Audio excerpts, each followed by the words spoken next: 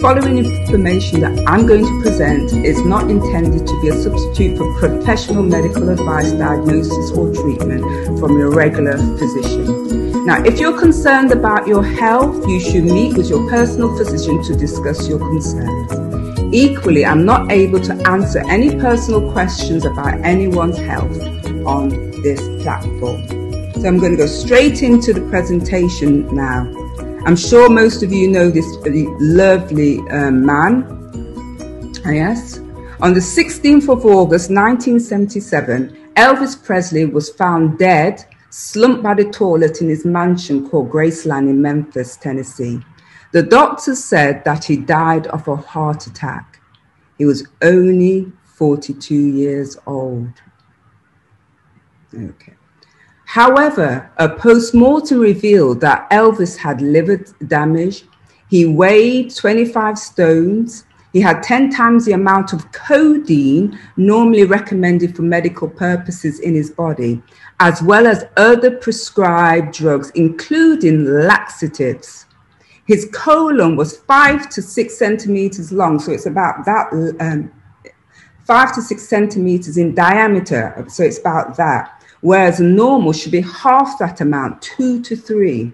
And instead of being the standard four to five feet in length, his colon was um, eight to nine feet in length. He had copious amounts of a natural white chalk like fecal matter in his colon. He was, as we would say in nursing, he was impacted with feces. The postmortem also revealed that the feces had been in his colon for four to five months and would have certainly presented a tremendous toxic load on the singer's physiology. One, one of the doctors claims that Elvis's bloated appearance and obesity were due to his constipation and not from overeating the wrong foods. Apparently, the doctor claims that he was in talk with Elvis's surgeon about literally removing some of the colon where, where it was full of poo. He had heart disease due to his lifestyle, but the action that eventually triggered his untimely demise was straining very hard to have a, a bowel movement. Poor Elvis died of a classic case of heart attack induced by straining to poo. He died from constipation. So, question What is constipation? Now, as we've just heard from Elvis Presley, constipation can lead to serious illness and death. But how do you know you are constipated? You know, some old medical textbooks say, you know, you can have feces and not in your bowels for up to a year, and it's not a problem. However, it's likely to be constipated if you've not had a bowel movement at least three times during the last week. Um, it's likely to be constipation if the feces is often large and dry, hard or lumpy, like rabbit droppings. And if it's constipation, if you have to strain to have a poo or in pain when you're having a poo, you may also have stomach ache and feel bloated or sick, in, or if you're having frequent stools. Sometimes you may have a bowel movement, but you still feel that, you know what, I haven't emptied my bowels properly. So let's look at what are the symptoms. So the symptoms of constipation can be easily overlooked, especially if someone has learning difficulties or if someone has dementia. So some of the things that you can experience is abdominal pain, cramps, bloating, loss of appetite. You may feel nauseous. You may even vomit. You may have overflow of diarrhea. So you may have having very liquidy stools coming out your back passage. Um, there may be fecal impaction, or you may even, and this is a horrible thing to witness. I, I, I remember when I was a student nurse in on the wards, my very first ward, seeing that, you know, someone vomiting feces. The smell is horrendous but the fear on people's face when they're vomiting it, they know something is seriously wrong. So fecal vomiting is not very pleasant.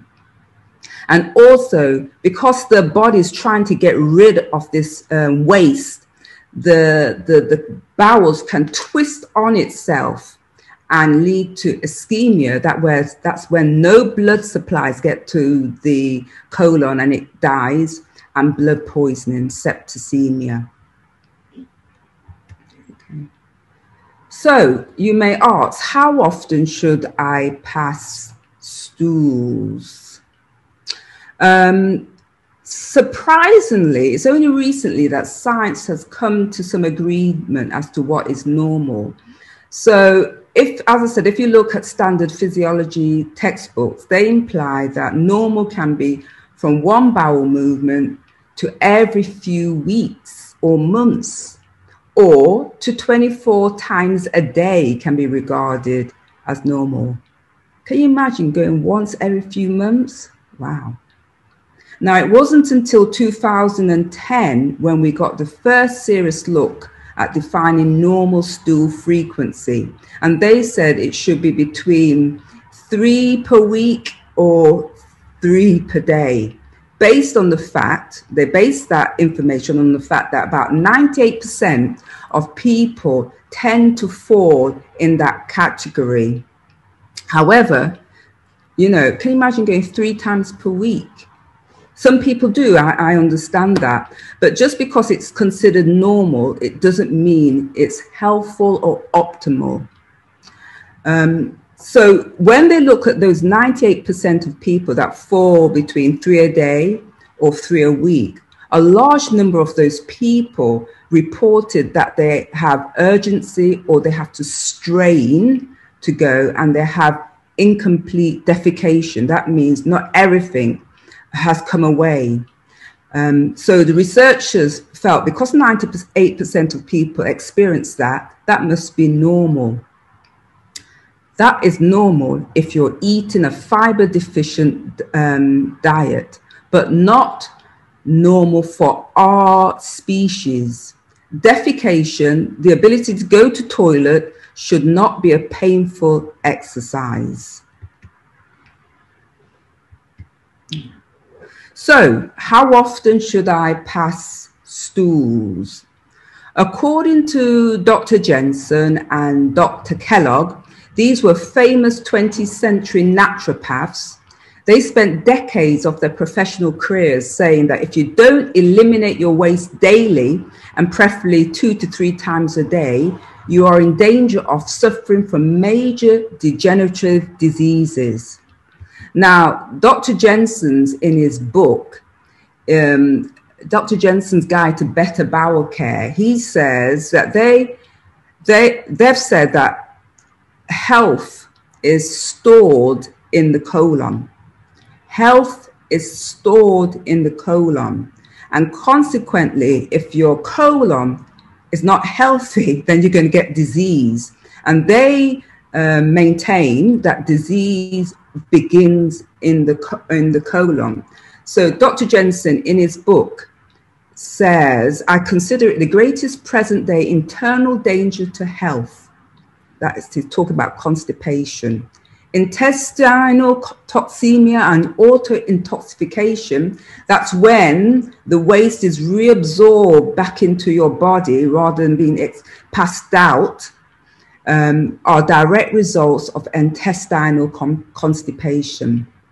Constipation contributes to the lowering of the body's resistance, predisposing the, the body to many acute illnesses and the, initi- and the initiation of many degenerative and chronic processes. Constipation indirectly cripples and kills more people in our country, and he was talking about the United States of America, than almost any other single disease condition having to do with deficient function. So let's bring it Let's bring it to the UK. Right? He mentioned America. Let's see about um, the UK. So most of our audience are in um, Britain. But you can be sure if you follow a Western lifestyle, you will be experiencing constipation. So, who is affected? So, constipation is far from an unusual problem. So, one in seven adults in Britain are affected. One in three children are affected at any one time. 60% of those suffering from constipation have been shown to be women. So, a lot of women suffer from constipation. And also, constipation is common during pregnancy. 74% of elderly nursing home residents use laxative for bowel regulation. So, from these figures, we can conclude that this is a common health issue that is easily addressed by some lifestyle changes. So, we've looked at those who are inf- affected by it, Let's look at the cost of constipation. And again, I'm looking at the UK. Um, a conservative estimate is that there are around 6.5 million people in the UK today with some form of bowel problem. That's one in 10 of us. How many people are currently on the platform? 160.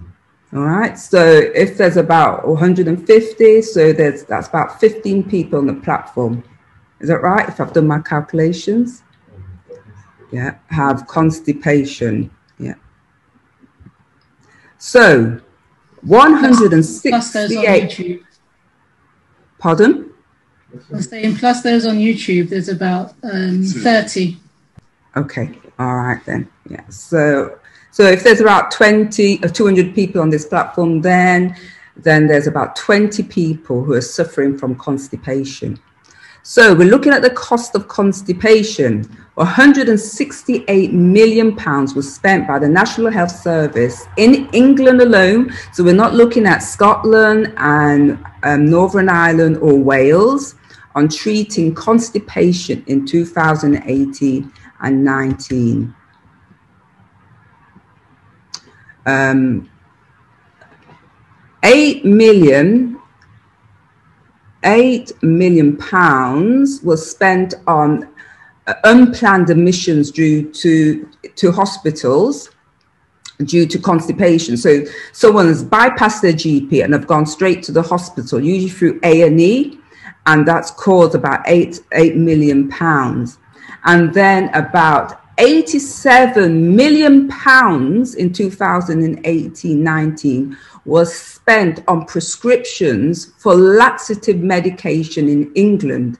And we're not looking at people who just buy some um, laxatives over the counter from the chemist or just going to Tesco's and buying some something for their constipation. So it's very, very costly um, problem. So we've looked at the numbers, we've looked at the final um, financial costs. Let's look at the human cost of constipation. Richard Handley, this lovely young man, was 33 years old and he had Down syndrome. And he died at Ipswich Hospital on the 17th of November in 2012. Now, two days before his death, there was around 10 kilograms that's 22 pounds of feces, stools removed from his body in an operation. That's over a stone and a half of feces removed from his body. He was admitted to hospital on the 14th of November, three days before he died. Before he died, after his family became concerned with his distended abdomen, which made him look full-term pregnant. He had operation to remove the fecal matter the following day. He was born with moderate learning difficulties, disabilities, and he had bowel problems, but the family were managing it with uh, laxatives and high fiber diet. However, he moved to a care home and which turned into a supported living complex.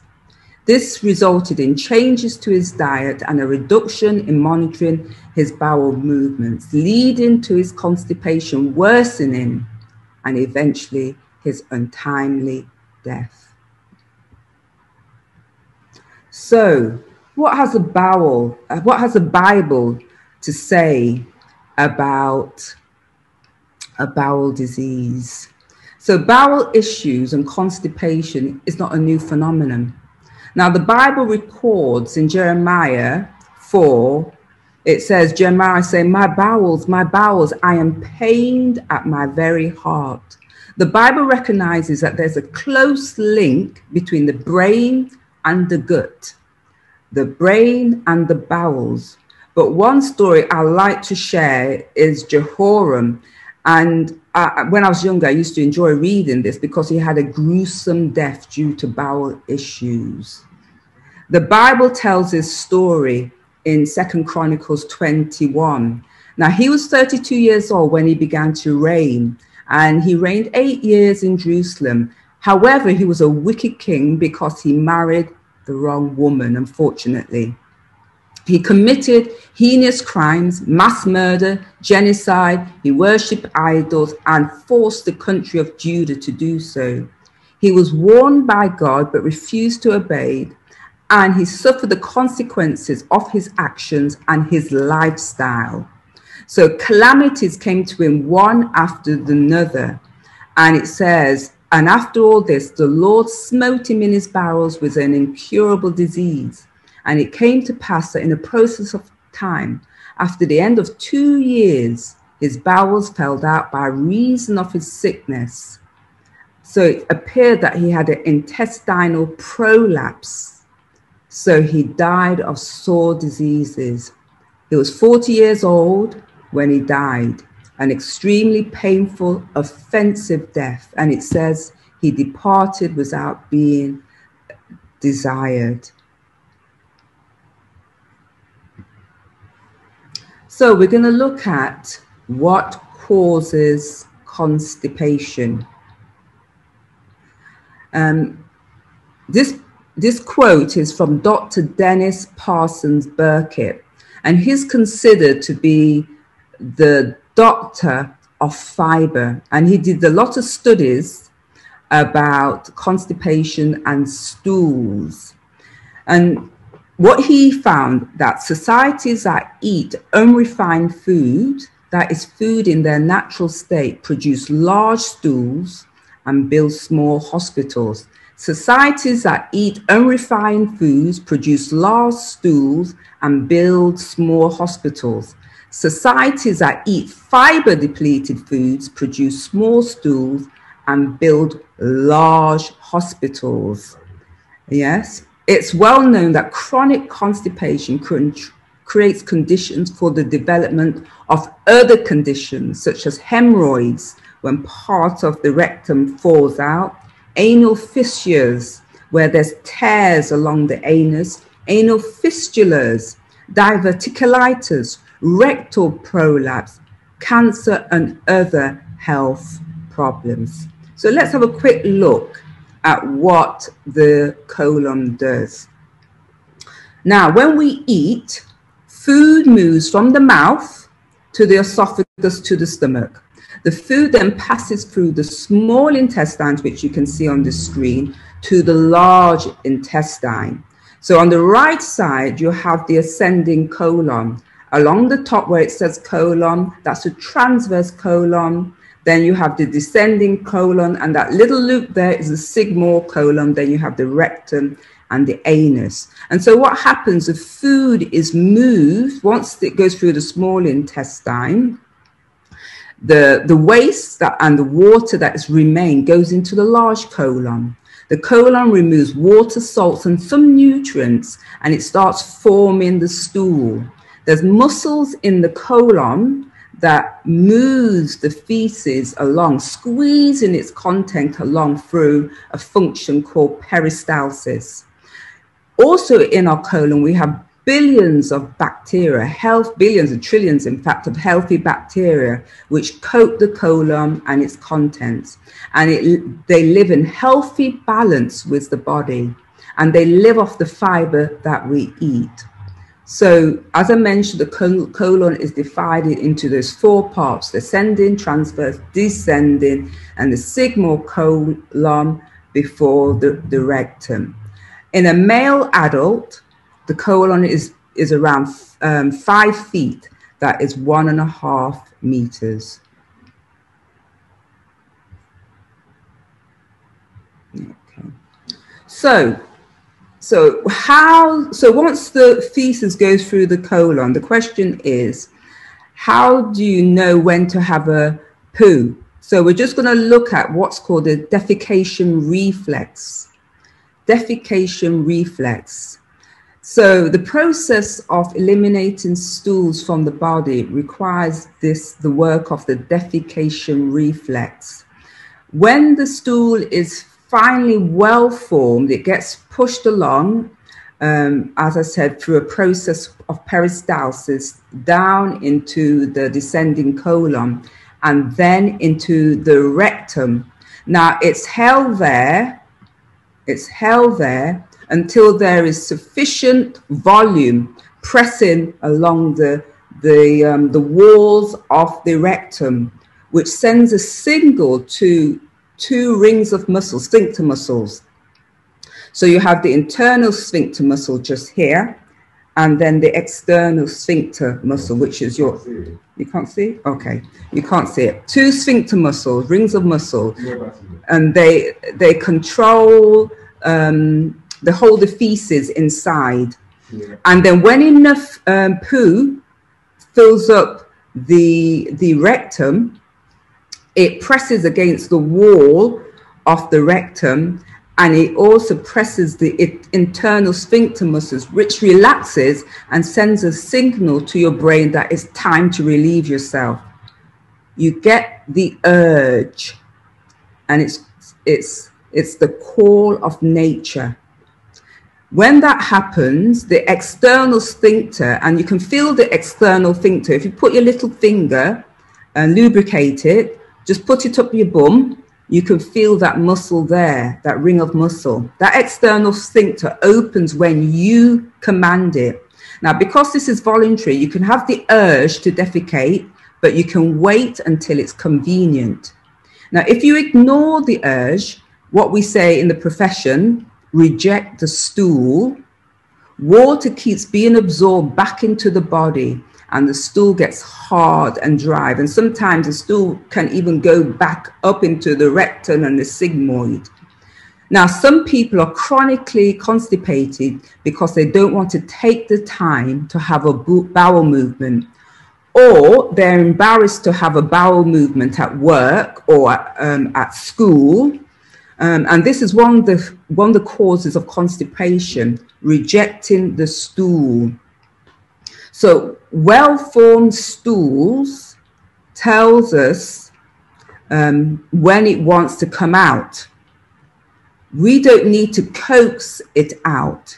Yes, we don't need to coax poo out. It should just come out. It looks like a brown banana with a point at one end. It's well hydrated and it just slips out easily. So, question What should a well formed stool looks like? All right. So ask yourself this question. So when you've had a poo, I don't know if any of you taken the time once you've had a poo to look at look um, in the toilet to see what it looks like. Yeah, have you? All of us. All right. So one of the things you need to do is look at the consistency, the color, and the smell. And there's this, the Bristol st- stool chart when we use it at, at Manna House, and they point that there's seven types of stools. The type one, it looks like rabbit droppings and that's severe constipation. It means that there's been a longer transit time. Type 2 looks like a bunch of grapes. That's mild constipation, and you've got a bit of toxic overload. Um, type 3, sausage shaped with cracks on the surface. People can describe it like corn on the cob. So next time you look at a corn on the cob and about to eat it, think about the stools. Yes. So that's considered normal. Yeah. And then the next type, type four, is sausage or snake-like. It's smooth and soft. Again, that's a, considered like a normal bowels movement. It's like a sausage. Type, type five, um, it's like chicken nuggets. May lack fiber. Uh, it suggests you may lack fiber, and it's a beginning of toxic overload in the system. Type six, fluffy pieces with ragged edges mushy, mushy peas. So it looks like oat porridge. It uh, indicates you may have mild diarrhea, there may be inflammation in the body, and it's a toxic overloaded system. And type 7 is watery, no solid pieces at all. So it looks like gravy. And that's severe diarrhea, and it's indicating there's inflammation in the body, and it may also indicate that there's bacterial or viral infection. So the question is, next question we have, how often do you have a bowel movement? Now, people on good diets generally have one to three bowel movements a day. If you are not having a daily bowel movement, there can be issues. And the next question to ask all of you and for you to consider how long does it take for you to move? And by that, I'm talking about transit time. So let's do a quick test. And you can take this down, and it's something you can do at home. So we're trying to find out how long it takes from the time you eat food until it comes out the other end. So that's the transit time. Um, so what you can do to test that, you can buy some charcoal charcoal tablets or powder, mix it in, mix it in water and drink it. It's important that you note exactly when you took the charcoal. Write down the date and the time. Yes, write those down. And then you keep on observing your um, poo. When you see the dark charcoal come out in the toilet, you can calculate how many hours since you took the charcoal. That is your transit time. Um, you can also, if you can't get charcoal, you can also do the test with beetroots. I believe um, Tesco's got beetroots in at the moment. Uh, I think uh, uh, Aldi also have beetroots. So go and buy some beetroots. You need to eat about three or four whole beetroots. Um, now let's let's look at the times. Then we're looking at transit times. So if it's less than 12 hours, so if you're going very frequently, that then it may suggest that you have malabsorption problems. Yeah. If it's well, you're not absorbing your nutrients from your food. Malabsorption problem essentially means you're not absorbing the nutrients from the food that you're eating. If it's 12 to 24 hours from the time you've taken the beetroot or the charcoal to the time you see it come out the other end, then that's optimal. That's what we should be aiming for. If it's more than 24 hours, this indicates that waste is sitting inside your colon too long. And so, if you've got a poor transit tra- time, it greatly, greatly increases the risk of colon disease. Substance, substances that were supposed to be eliminated are being reabsorbed back into the bloodstream. Now they can irritate um, and, it, excuse me, interfere with your body and how it's working. Now, when a person is constipated, if your transit time is more than 24 hours, the walls of the colon are often impacted or caked with accumulation of fecal waste matter. So the inner diameter of the colon, what we call the lumen, is reduced like a water pipe with a buildup of mineral deposits. Now, eventually, the opening becomes narrower and narrower, make it more and more difficult for your body to pass waste. Since the encrusted feces, which is lining the colon wall, is unable, the colon is unable to absorb nutrients from your food. Waste from the blood, which should normally be drawn into the colon through the colon walls, are being reabsorbed by the body, along with other toxins resulting from the fermentation and putrefaction of incompletely digested food. So if you've got meat, it's rotting in inside the body because you have constipation and there's incrustation on the colon wall. If you're eating fruits and vegetables, those are fermenting in the body. And, and this, this can lead to a whole type of health problems. Sally Lewis, she was 55 years old from Bromsgrove, Bromsgrove in Worcester. She had learning difficulties. She died after feces blocked her bowels in 2017. Now, her sister Julie said the condition was so bad, Sally had feces in her throat at the time of her death. Her family said they wanted to make sure nothing like this happens again. On the evening of the 26th of October 2017, Sally, who had long-standing history of constipation, she became unwell. The family thought she was coming down with a um, tummy bug. She was wobbly and unsteady on her feet. She refused to drink, which was unheard of for Sally.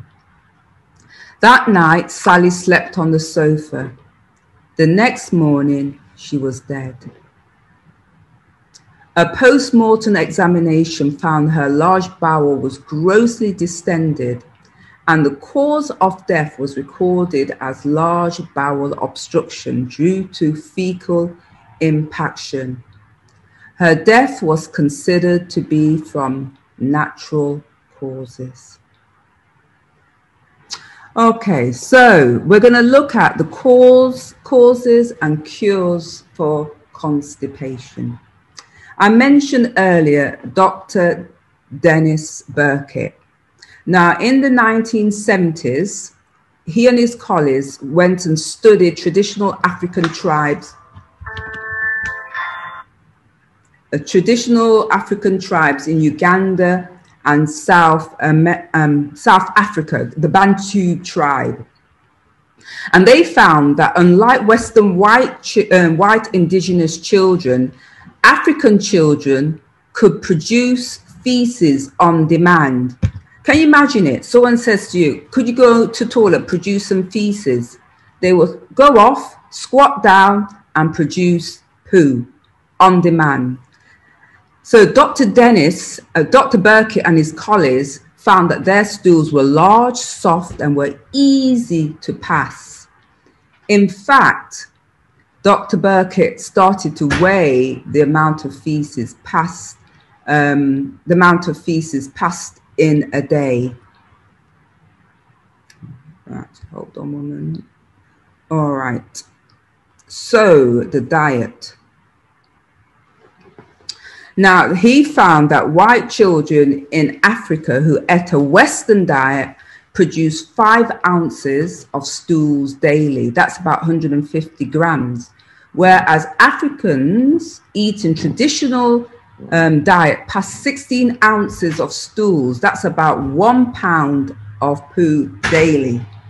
The Africans who ate um, the indigenous diet also had a shorter transit time as well. Right. So that's how the Western diet, five ounces. The traditional diet, 16 ounces. Yeah. So the transit time for the Western diet was 48 to 72 hours. That's up to three days.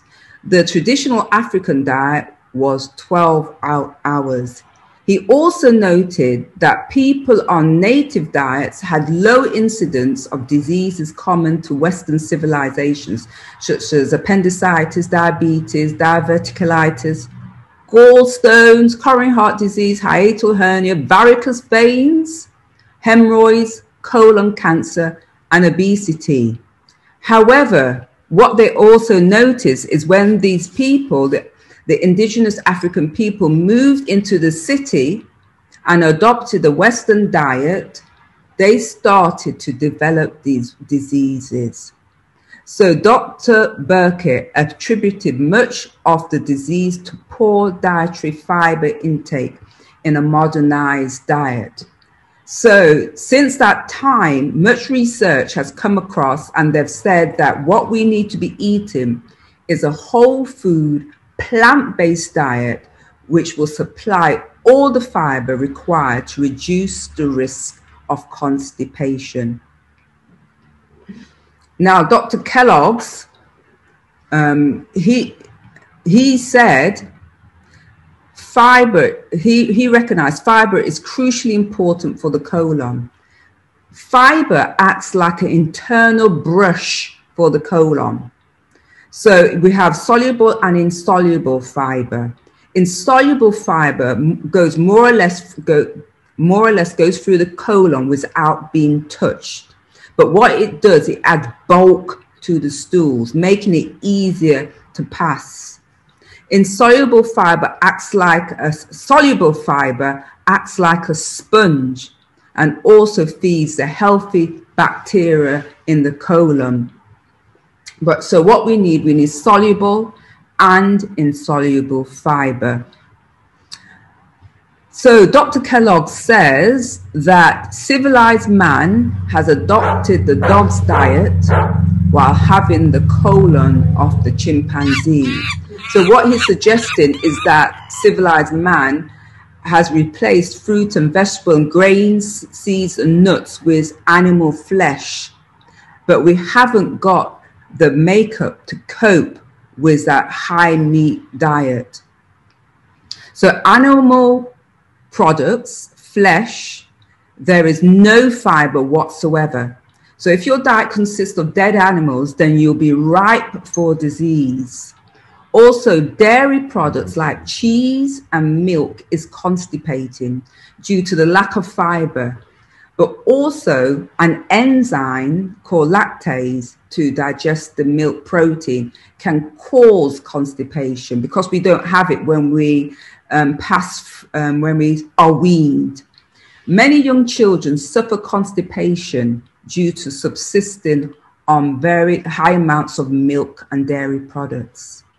Now, if you're eating refined foods like white bread or hardo bread, white rice, anything that has its bran removed, then expect to experience hard dough stools constipation bread. That's what I call white bread and hard dough bread. Other habits that contribute to constip- constipation are hasty eating, eating too much, too fast, cut on swallow. I, I remember I did a colonic on a, a family member. And as we were looking at the waste that was coming out, I saw a whole piece of apple that still had a teeth mark in it coming out in the waste. It was clear this person was just cutting the food, biting it, and swallowing it. They were not chewing the food. So if we're eating hastily and not chewing the food, that food is not going to be able to be digested well and act like that internal brush in the body. So you may, be eating excellent um, plant based diet, but it's important to also chew the food. Conversely, Dr. Kellogg's also claims that the habit of chewing too much can cause constipation. So we have to be temperate in all things, no extreme, not the cut and swallow, but also not the chewing too much. However, what I know from our, our society that we do not chew our food enough. We, we, I've never come across a person who chews their food too much. We also have to look at how we um, take our food. Hot foods and hot drinks, they too can cause constipation. Yeah. Also, if you're not eating enough food, if you're on a juice fast for too long, that too can cause constipation. Or if you're just drinking um, a water fast, uh, again, if you don't cleanse your bowels before you have go on a juice fast or a water fast, then that can cause constipation. All right, next one lack of water. So, lack of water is a major cause of constipation. So, conversely, water is crucially important to prevent constipation. Rather than drinking water, we may find people drinking alcohol, um, tea, coffee, sweet drinks, and are not drinking the water. The body needs water those other drinks act as a diuretic and make you pass out the water through your kidneys rather than um, a lot of water going into the colons. So if we drink in a lot of um, alcohol, caffeine, sweet drinks, um, then it's going to make a bad situation of constipation even worse. So I've come across many people. Uh, I've said, "How much are you drinking?" They said, "Yes, I'm drinking water, but how much?"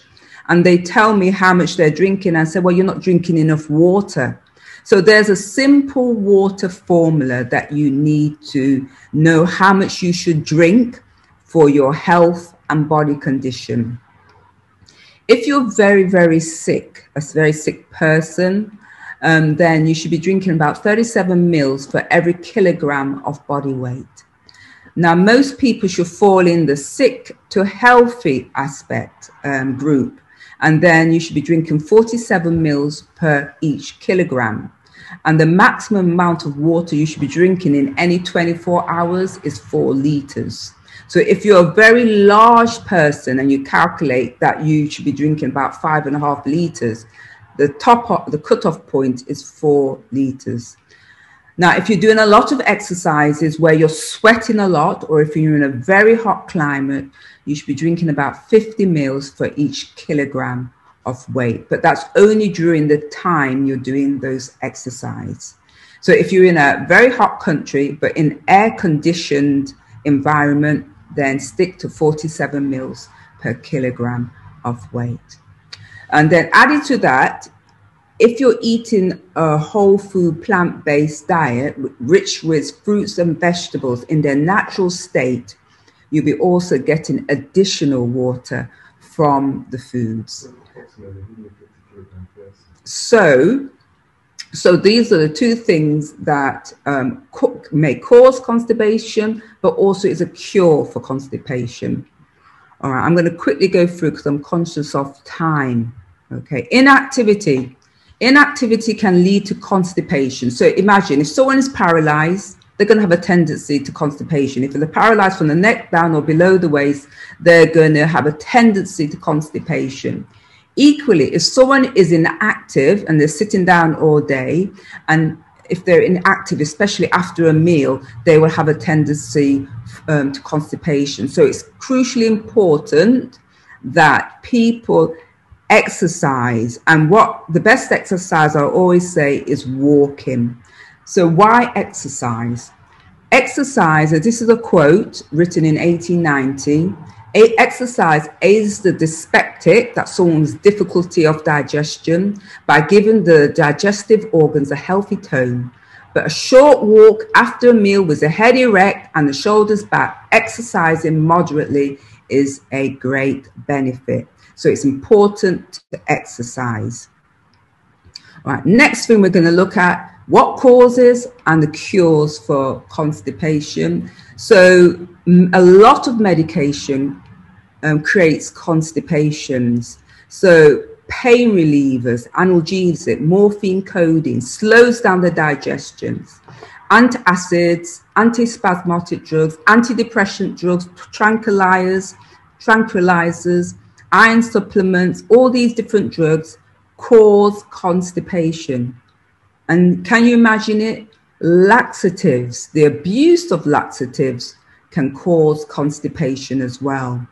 So if we're people using laxative continually when they're abused, um, especially for some people who use them to slim, to lose weight, it can actually cause your constipation to worse, worsen. So there are three main laxatives the bulking agents, That's where you're eating a high fiber diet, psyllium husk, oats, and wheat bran. The osmotic laxatives, and that's to do with water. It draws water into the bowels. An example of that is like lactulose. And then there's the third type, the stimulant laxatives. And those ones really irritate the colon. Yes. And it makes the colon want to get this stuff out as quickly as possible. An example of that is castor oil and Epsom salts. Mm. Okay. Uh, and then the last one of the, the last causes and cures for constipation is the physical aspects is aging. Yes. So people say as you get older, you're more likely to be constipated. However, when we look at the elderly people, they're more likely to eat a low fiber diet and they tend to rely on packaged and prepared foods. They're often taking a series of medications which slow down their bowels. And also, as we lose, as we get older, we lose the sense of thirst. Whereas young people, when they're thirsty, they go and have a drink of water. Older people lose that ability to um, to know when they're thirsty. Other physical issues that may cause um, constipation is pregnancy, as I mentioned as well. I want to look at some of the psychological factors. Yeah. So there's some emotional and psychological factors that can cause constipation. Emily Titterton died on the 8th of February 2013 from a cardiac arrest caused by chronic constipation. She was 16 years old. Emily, who was homeschooled, had, had not been to the toilet for three months. An inquest into her death heard that the constipation was so bad that some of her internal organs had been moved out of their position, including her diaphragm. The, paramedic, the paramedics who came described their shock at Emily's grossly extended abdomen when she collapsed at home, and they said that she was vomiting feces. The coroner said that all this could have been prevented and concluded the cause of death was natural causes contributed by psychosocial factors. All right. So some of the psychosocial factors, I'll share, I'm sure I'm to share a picture, share a picture with you. And this is, um, I'm tell a story of my son. When he was young, um, about 17, he was going to a college with, in Leicester. He lived with my um, parents and he refused to use the toilet at school, at, at the college he would reject the urge to go to toilet. Yes, he rejected that urge and he would wait until he would go home to have um, a, a poo. Eventually, over time, he became impacted with feces. And so when he came up to um, came up during the summertime to be with us, his parents, it came to light that he was impacted with feces and we had to do something to sort him out. Fortunately, we were able to do something to resolve that issue. However, psychological factors can interrupt the ability to go toilet. Now, another thing that can cause can be a psychological factor is when people get put off by from the food that they eat there is a close relationship between the brain and the gut. And remember Pavlov's dogs, when the bell was rung, they start salivating, they, they produce gastric juices. And in the same way, the same things happened to us. You know, when we know that food is coming and we're anticipating that food, you know, we, our body starts producing gastric juices to help digest the food. However, if we have a monotonous and bland diet day after day after day, then we will not produce those gastric juices to digest the food, and the food is not digested effectively, and it starts putrefying, fermenting, and become rancid inside the body, and start forming, um, start making the body become constipated. So it's important that we eat our food with relish.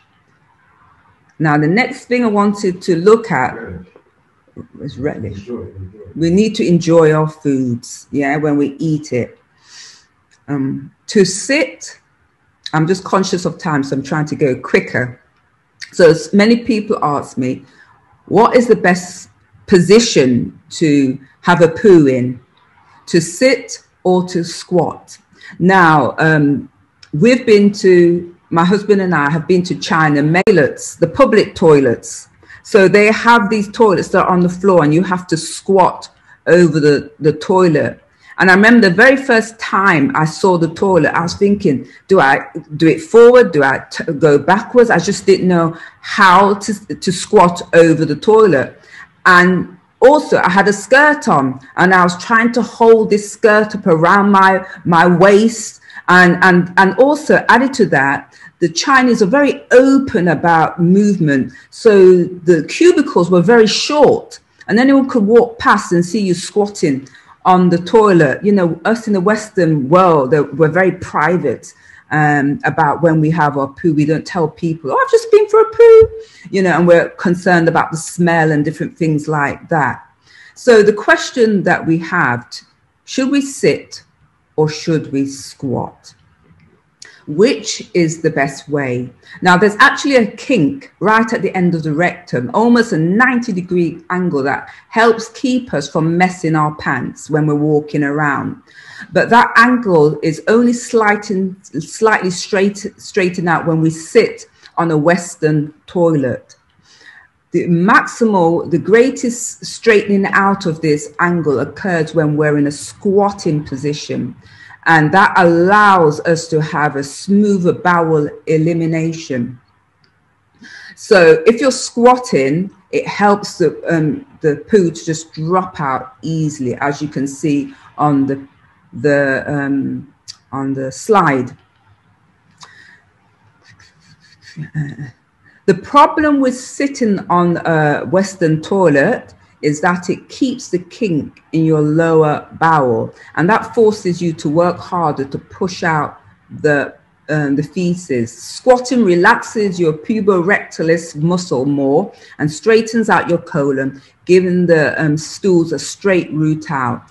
As a result, you can go more easily with less straining. Now, in 2003, a study was done of 28 healthy people to see how long it took them to pass stools, whether sitting on a standard toilet, sitting on a low toilet, or squatting. They not only recorded how long it took them, but how much effort it took. Squatting, the study concluded, takes less time and less effort. Mm. But the question is asked how many people can balance themselves on a standard toilet? Can you do that? I'd be frightened of slipping off and my foot going into the basin of the toilet. It's uncomfortable and dangerous. So, what the researchers suggested that instead of doing that, squatting on the toilet, you lean forward as you sit and with your hands on or near the floor. So, you're leaning forward on the toilet with your hands on the floor. They, they advise all sufferers from constipation to adopt this forward leaning position when pooing, as the weight of your torso places extra pressure on your colon. But the question is, why not just treat the cause? You know, if you think about those African children who ate an indigenous diet, you know, yes, they squatted, but they could poo on demand. They didn't have to exert any pressure. Um, instead of finding ways to add even more pressure, which, like Elvis, caused a heart attack caused by the Valsalva maneuver, why not get to the root of the problem? The fundamental cause of straining is the effort required to pass unnaturally firm stools. A cardiologist, Dr. Joel Kahn, said, You know you're eating a plant based diet when you take longer to pee than to poo. You know you're eating a plant based diet when you take longer to pee than to poo. So I'm coming towards the end. So, what what so what essentially what they're saying is your poo should just drop out of you, just come out without any effort. So let's start looking at some of the right habits that we need to adopt in order to maintain a healthy bowel, healthy colon. We need to eat a whole food plant based diet. I've been saying that throughout this whole pre- um, presentation. We need to increase the amount of raw foods. We need to be drinking water um, and drink it according to our health and body weight. We need to be exercising regularly. We need to in, in put in place regularity in our lifestyle. Get up at the same time, have breakfast at the same time, drink your water during during the day steadily throughout the day, have your lunch at the same time, go to bed at the same time in the evening, and train your body to have a poo at the same time every day.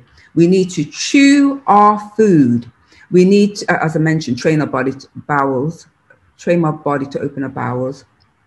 We also need to use oils, which are very healthy for bowel movements, but we use them in their natural states. So rather than adding the olive oil to your food, use the oil in the olives, eat the olives. If you don't like olives, there's sesame seeds, there's flax seeds, there's nuts. Mm. Now, if you still have a problem, if you've done all that and you still have a problem, here's some additional interventions you can do. All right, um, I'm going to go through this quickly. Exclude any infections like bacteria, fungal, parasitic that can cause constipation. There is small intestinal bowel overgrowth, which can cause chronic constipation. Double your fiber intake. Um, so, um, increase your legumes such as kidneys, navy beans, pintos, lima beans. Have vegetable, Brussels sprouts, cauliflower, all those different things. Avoid things like corn and man-made um, vegan foods. Um, reduce the amount of laxatives you're using and try and replace it with psyllium husks. You can, you can buy these online, buy, buy Whole Foods online and I haven't got shares in this company either. They add bulk and water to your stools, which allow for easy passage. Now, if you take psyllium husk, it's important that you drink even more water because psyllium husk absorbs the water into the stools. And it's important to build up gradually as well. You can also try chia seeds. Chia seeds, flax seeds, and hemp seeds. These are so soluble fibers, these all add, these can all be used in the same way as psyllium seeds. Um, another thing you can do is review your medications. If you're taking iron supplements, see if you can replace it with something else as well. If you're on painkillers, see if you can replace it with something else. If you're on omeprazole, look at replacing that as well. You can take vitamin C, um, which can help to soften the stools and you take it to bowel tolerance. And also avoid stress, depression, and anxiety. So, if you've done all that, you still have problems, you can think, uh, think of taking uh, magnesium, um, sulfate, that's, that's really good. But again, it needs to be done under supervision, especially if you've never used it before. You can take aloe vera. I don't like the stuff, but it's excellent for constipation. Um, you can increase the amount of dry fruits in your diet. Again, drink a plenty of water because they're dehydrated. They need water as well. You can buy yourself an enema bag, follow the instructions on the bag, and you can give yourself an enema as well. There's different ways that you can give yourself enemas. And then finally, another thing that you can do if you've done all that and you still have a problem, you can seek some additional interventions. You can have a colonic hydrotherapy uh, program, which we offer at Manna House. So, finally, in summary, remember the old adage prevention is better than cure. We need to be following the lifestyle that was originally prescribed for us. The original lifestyle was eating a whole food plant based diet, drinking water, and gentle, pleasant exercise after our meals. We need to develop habits of regularity of waking and sleeping, working and going to toilet. And most of all, have complete trust and gratitude in a God that loves us. So thank you very much.